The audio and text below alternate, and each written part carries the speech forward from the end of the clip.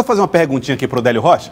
Edélio, é muito comum, Délio, que os candidatos, aqui já mudando um pouco de assunto, utilizem a imagem ou o nome do ex-presidente Lula para ajudar nas suas campanhas. Isso a gente viu em todo o Brasil, né, Délio Rocha? Boa tarde.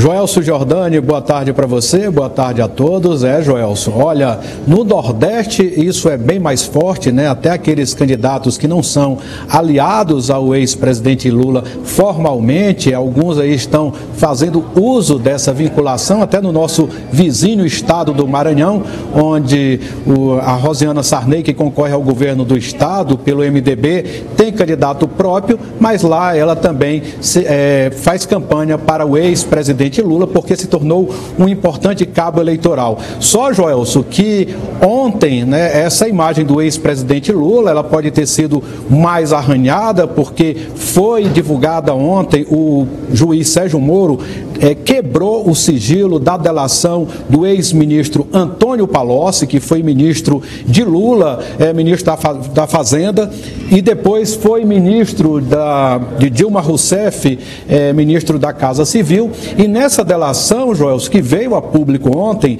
Palocci faz duras denúncias contra o ex-presidente Lula. Fala, por exemplo, que das mais de mil medidas provisórias que foram editadas por Lula e Dilma Rousseff, pelo menos 900 foram negociadas aí, foram, é, foi motivo de negociação.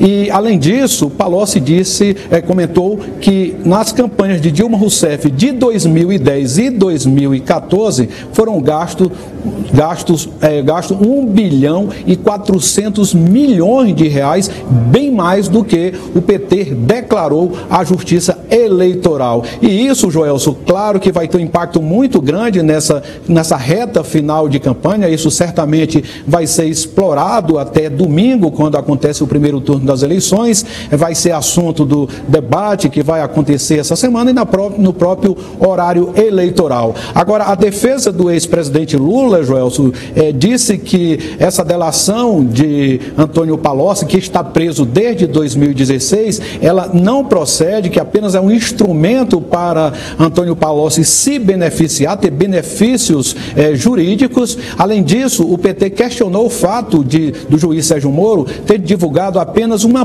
parte da delação de Antônio Palocci, exatamente uma parte que envolve denúncias também com, é, em relação a uma compra de um apartamento em São Bernardo do Campo e de um terreno que seria é, do, para o Instituto Lula. Né? Isso o PT diz que não ocorreu. Agora, Joelso, o que é certo já que a gente pode adiantar é que isso vai ser o principal tema é, colocado na mesa de debate quando os, os é, presidenciais forem é, se contrapor ao candidato do PT, Fernando Haddad. Joelson. Sem dúvida nenhuma, Adélio. Foi o fato né, mais relevante aí do noticiário de ontem para cá, de, né, de, de ontem, de ontem para cá.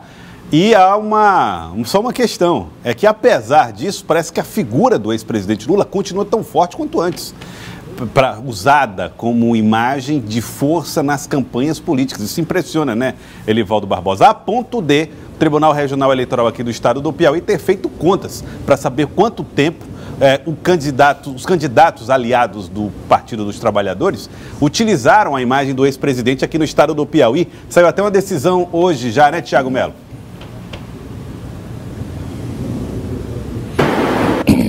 Decisão apertada, viu, aqui no Pleno. Foi necessário o voto do presidente para o desempate. E o entendimento do Pleno é de, de não aplicar multa à coligação A Vitória com a Força do Povo 1 e a Vitória com a Força do Povo 2. Não aplicação de multa. O entendimento é que a aparição do presidente Luiz Inácio Lula da Silva na campanha, é, nessa peça da campanha, não ultrapassou 25% do tempo total. Portanto, a coligação não foi penalizada, como pedia o procurador regional eleitoral Patrício Noé.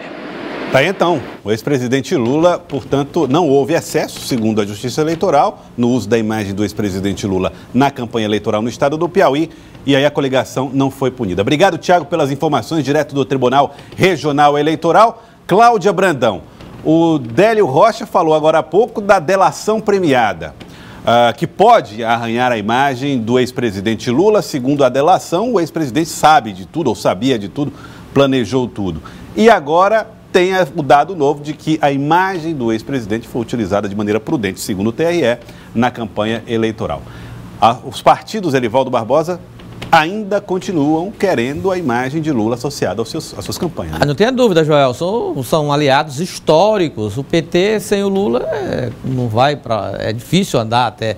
É, é a principal referência política do PT e dos aliados mais próximos. Então não seria numa campanha eleitoral que ele deve, que, que, deixaria de ser usado. Agora, sem dúvidas que a, a delação do, ontem revelada, tornada pública, ela deixa o PT e Lula, digamos assim, na defensiva, na cautela né, tendo que responder, saindo um pouco desse terreno aí do, do embate mais direto com os seus adversários preocupa, claro, interfere na campanha, sobretudo agora nessa fase final.